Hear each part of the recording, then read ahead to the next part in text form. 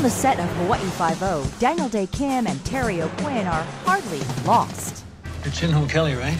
Producers cast Kim as a regular in season one. This year, they offered O'Quinn a recurring role. Sounds like we got a lot of work ahead of us. Now the two are back shooting scenes in familiar territory in Hawaii. And right back there, I remember paddling in season number six, that big eight man canoe with nothing but a headwind and a scowl. The old show launched bigger careers for them, You think they're watching? Let's hope so. and experience helps on 5 where they work with many old crew members. Yeah, you get more relaxed. I like to call people like Terry savvy veterans. You know, guys who've who've been there and done that and kind of understand where we are in the in, in the larger context of things. In, in front of him, that's what he likes to call them. That's right. After Lost, Kim stayed in the islands.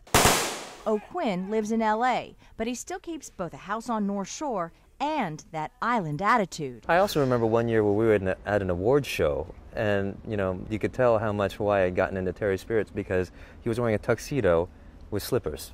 I thought that's Hawaii right there. Yeah, but they had, but they had rhinestones on them.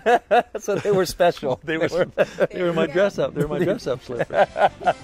After being lost in the islands for years, they've now found a new scene together on Hawaii 5 You got it? Yeah, cut it.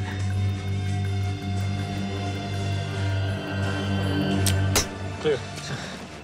In Kualoa, Terry Okita, Hawaii News Now. IED